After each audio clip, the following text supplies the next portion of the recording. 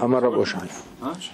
Okay, Rabotai, we are on page Masechet Berachot on page Gimal uh, Amud Bet, second column, and now we shall go into the text of the Talmud, continuing what we what we spoke about yesterday. Remember, we said that David Amelech, even though he was a great king, and believe me, he was extremely busy, and the Talmud is going to tell us how busy he was soon. Nevertheless, his life was the Torah. As a king, he spent his nights learning Torah. So we are going to learn about this. Amar Rab Oshaya. Amar Rabbi Acha. Rab Oshaya, said on behalf of Rabbi Acha. מעולם לא אמר דוד, הכי כאמר דוד, King David said upon himself, מעולם לא עבר עליי חצות לילה בשינה. I have never spent a midnight sleeping, which means on midnight, that's when he was awake.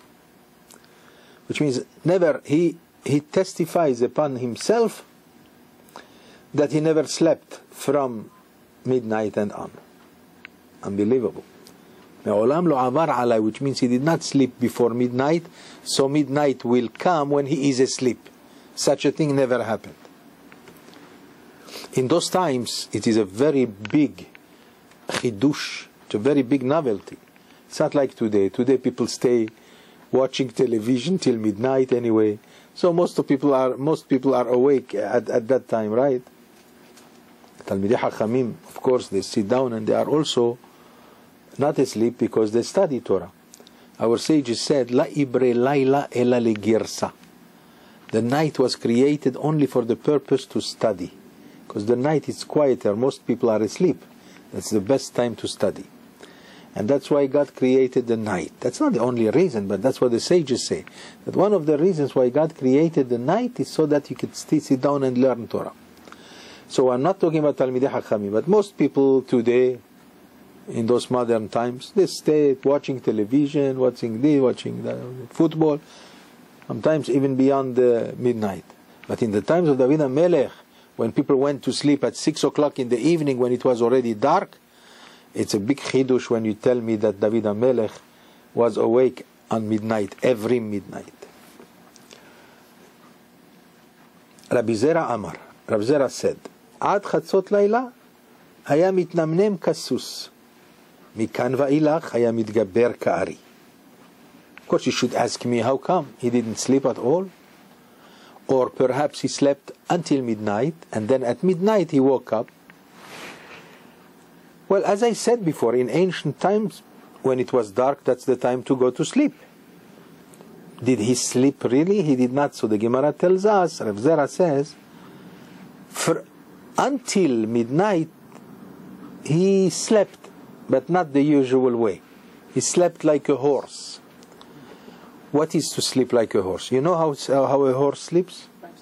Standing. He doesn't go to bed. And his sleep is very, very uh, light. The slightest thing awakens him. That's the horse. So, in our understanding, mitnamnem in Hebrew means he goes like this. Up. Drifting off. Mm-hmm. Up.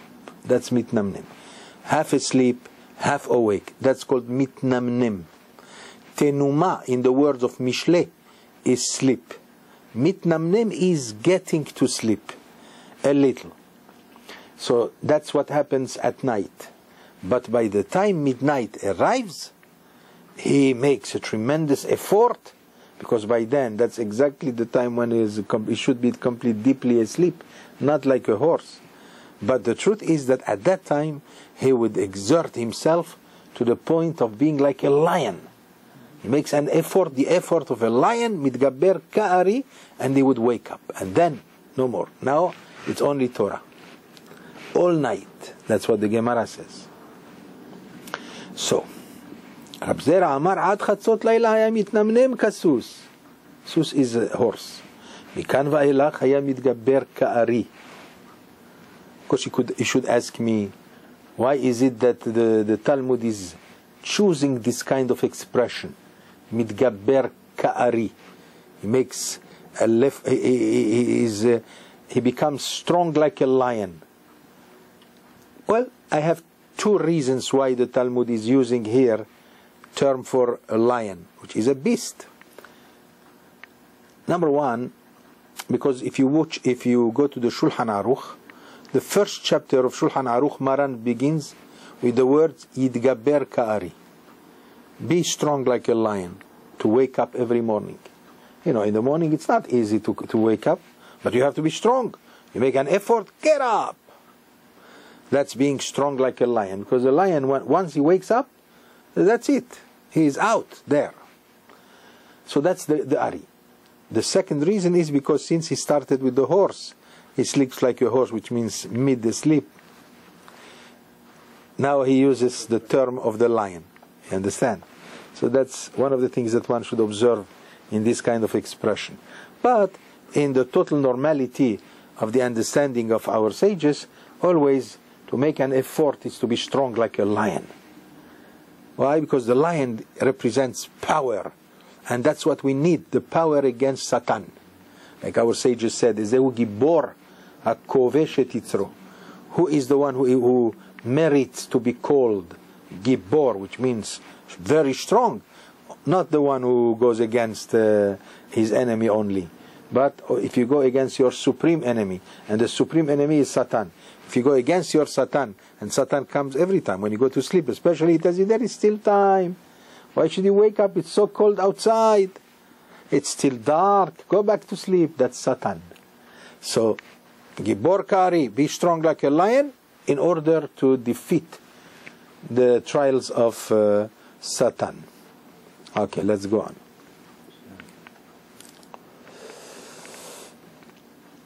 רב אשי אמר, רב אשי says, עד חצות לילה היה עוסק בדברי תורה, מכאן ואילך בשירות ותשבחות. רב אשי does not agree with רבי זרע. Remember, what, what is it that Rabbi Zera said? That David HaMelech did sleep a little, only he did not sleep deeply. He slept like a horse, which means in and on, uh, uh, on and off, right? And then uh, until midnight, right? And then from midnight to the morning, he was studying Torah. According to Rav Ashi, there is no such a thing. According to Rav Ashi, David HaMelech did not sleep at all. What do you mean did not sleep at all? Then what did he do in the evening when uh, everybody goes to sleep? Well, Rav Ashi says, from let's say 6 o'clock it's dark in the evening. That's the time when he sits down to study because the day is very busy, taking care of everything, taking charge of the whole country. But when it is dark and everybody goes to sleep, that's when he sits down to study Torah until midnight. At midnight, he doesn't go to sleep. Now he starts singing. The praises, you know, that we know, the Psalms that he wrote, 150 Psalms. When, when did he do them? During those uh, hours from midnight to the morning. That's according to Rav Ashi. According to Rav Ashi, uh, David HaMelech does not sleep at all. At all, of course. You should now ask me a question. How is it possible? Why, Rav Ashi, what is he talking about? Don't, doesn't he know that a human being needs to sleep? Let me tell you something. Rav Ashi, of course, he was the genius of his generation. He lived uh, close to 1800 years ago in Babel. He was the last of the sages of the Amoraim.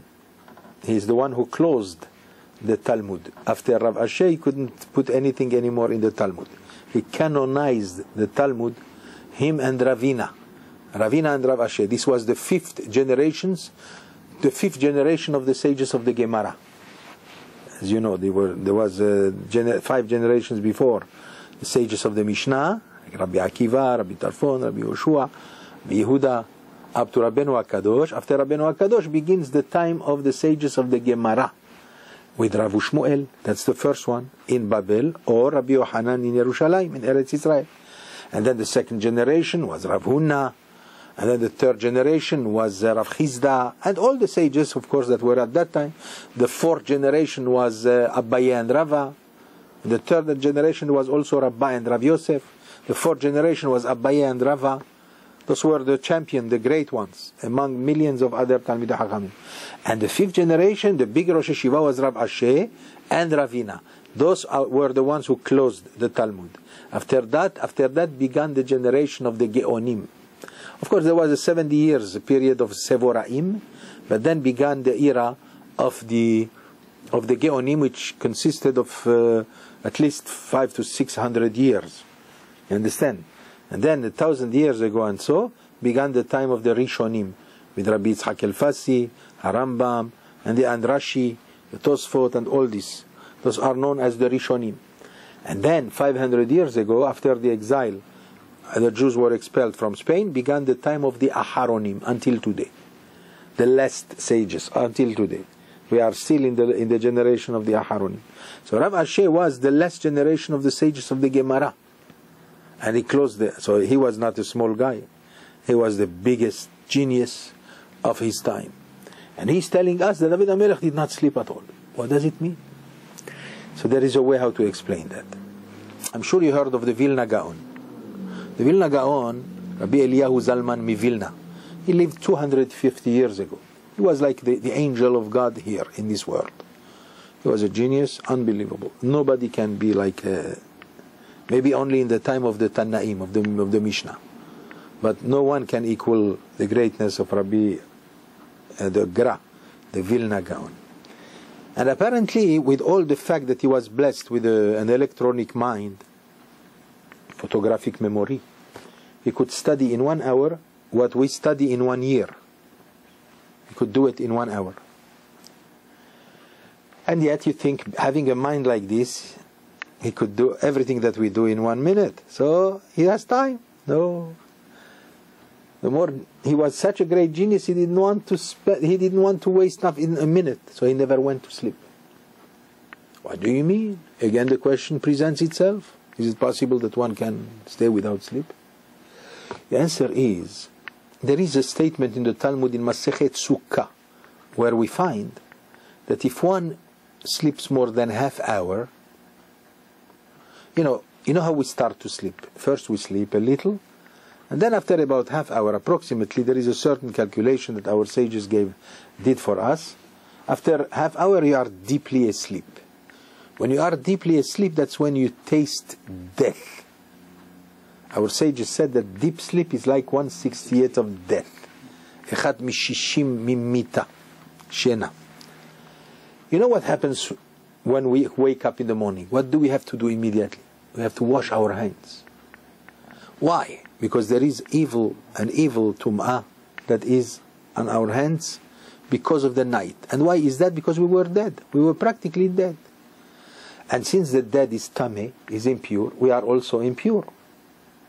So, almost without exception, everybody tastes the taste of death every night when we go to sleep, when we are deeply asleep.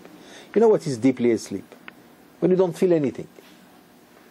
Of course, if somebody will scream in your ears, you will wake up. Uh, but usually, you are asleep, you don't feel anything. You are dreaming, ho ho. There were a few great persons in the history of the Jewish people who didn't want to taste the taste of death. One of them is David HaMelech. The other one is the Vilna Gaon, close to us. They didn't want to taste the taste of God. So what did they do? They didn't want to taste the taste of death. So they did sleep. Three times a day. Every time less than half hour. And for example, the Vilna Gaon would sleep like this. Then some say that his his uh, his his feet were immersed in icy water. This way, he doesn't fall asleep completely. And then he got used to it. His body got used to it, and now he doesn't sleep anymore. He sleeps only this half hour, and that's it. Half hour now, half hour later on, half hour later on, three times, maybe four times. Those who were watching the Vilna Gaon, they said two hours in 24 hours he slept. But again, he divided them in half hour. This way he doesn't taste the taste of death. The Gemara in Masechet Sukkah tells us that the same thing happened with David HaMelech. He did not want to taste the taste of death, therefore he did not sleep. How can you do such a thing? I tell you the truth, Rabotai. Not that you should do it. Nobody should do it. Because it's not healthy. Our sages said, based on the Pasuk, Yashanti az yanu ahli. Az is Aleph and Zain. Aleph and Zain is eight. Eight hours is what we have, everybody has to sleep to be healthy. Maybe in some cases seven hours. Alright? But the best for health is eight hours. In fact, it's known that the Chafetz Chaim, you know, in every yeshiva you have always individuals that don't want to go to sleep. They keep on learning, learning, and they stay very late at night. The Chafetz Chaim in his yeshiva in Radin, he would go to the yeshiva at midnight to see if there is someone. He would tell him, go to sleep. But there are always exceptions. There are people who made it. I, will tell you another one who lived approximately 100 years ago, the Netziv, Rabbi Naftali Tzvi Yehuda Berlin, the one who wrote uh, uh, his great Pirush uh, on the on the She'iltot of Rav Achai Gaon, or the the, the, the, the, the Pirush of Amek Davar on the Torah. The Netziv was a Gaon Atzum. You know, in the middle of the night, at 3 o'clock in the morning, he had a big question in his mind. So he called, I mean, uh, they came to, to ask him for that question, and they found him wide awake at 3 o'clock in the night. So his son in law, he could not help it but admire so much his father in law. And he said to him, My father in law, you don't go to sleep at all. I mean, we came here to ask you at 3 o'clock in the morning and you are wide awake. He says, What do you mean? You mean to, to tell me that you go to sleep, you are asleep when it is 3 o'clock in the morning? Shame on you. But as I said, those were exceptions. People should not follow that, even though there are people who are, we call them matmidim. They stay, they persist in learning. You know what happens to people like that? Some of them did succeed to overcome the power of sleep. You know, today if you do that, you will become sick. There are many kinds of sicknesses that will come upon somebody who doesn't sleep enough. You know that. Even high blood pressure could come from that. Today they say even cancer. All kinds of things. But there were a few exceptions who did it and were not affected. Their body, in fact, Rabbi Avigdor Miller told us once that the Vilna Gaon, nobody saw him really. He was all the time in his house learning, except a group that came to him every time. He didn't have a yeshiva, he didn't have rabbanut, he didn't have anything. Only people all over the world, they knew him. So his reputation was so great, was so famous, that people were, desired to see him, just to see his face. It was very difficult. I could tell you other stories about this, but not the time. No, Vilna, Vilna, Vilna. That's uh, that's in in Russia. Then today is uh, how do you call it in English? No, no, Lithuania. Ah, Lithuania. Lithuania is uh, Vilna. He was there. Sure. So the Vilna Gaon, Rabbi Eliyahu Zalman mi Vilna, was a great genius, a Gaon Atzum. There is nobody like him. They say about the Vilna Gaon that he, uh, even if you know the Torah from A to Z, he knows it from A to Z and then from Z to A. Try to say Shema Israel the, the, the, the, the opposite word. He will find it is difficult. Well, the whole Torah he knew by heart, even back and, uh, and backwards. Anyway, so one day there was a woman who wanted to see the face of the Vilna Gaon. And everybody knows he doesn't sleep. They used to take ladders to see whether he's still uh, learning. Oh, they would see that he's learning all night. So he must be very, very sick then. So there was a woman who said, I want to see him. They wouldn't let her because at, in, at 5 o'clock in the morning, the Vilna Gaon would go with the shamash to the mikveh, finish the mikveh, the tevilah, and then come back home. Nobody sees him. But the woman says was persistent. This was told to us by Rabbi Avigdor Miller. She said, I want to see him. So she came at, at uh, 5 o'clock in the morning, knowing that he is going to come out from the house. And she went under a small bridge, a small bridge that was made of pieces of wood. And between each piece, there is some space. So she went to hide underneath to see him from the. And what did she? And, and she testifies to the fact that she saw a fat man. She saw he had a double chin. She said, How is it possible? A man who doesn't sleep usually loses weight. And this man didn't seem to have lost weight. Double chin. Of course, you could have anything you want in your imagination. Maybe somebody brought him food and he ate without. No, no, no. You have to understand that everything is well documented. That's the point. No, but that's not the point. I mean, we are not just throwing words here. They said something that is based and well established. Why? Our say the the, the Hachamim said the reason he was healthy because when he learned Torah, he learned with great happiness. He was so happy, he couldn't get sick. You know that? You want to win against uh, disease? Be happy. No stress. He was so happy because he had the treasure of the Torah in his in his hands that he didn't care about eating. He hardly ate. Also, Was he married? Of course, he was married and he has children also and everything. His na- eh, the name of his of his son was Rabbi Avraham. Rabbi Avraham Vilna, also another Gaon, not like his father, but another Gaon. So let's try to conclude this, even though we stray to other things. So you understand? So Rav Ashi says, no, David Amelech is not the type to go to sleep, not even like a horse. When, when it gets dark, he sits down to learn Torah. Mikan va'ilach, from then, from midnight unto the morning, beshirot vetishbachot. Which means that's when he started to sing and praise the Lord. That's one kind of adoration that he used to. He used to write poems and things that's Tehillim, and he would address the Lord. So let's stop right here, having in mind the two great figures that we discussed tonight, David Amelech and the Vilna Gaon. へえ。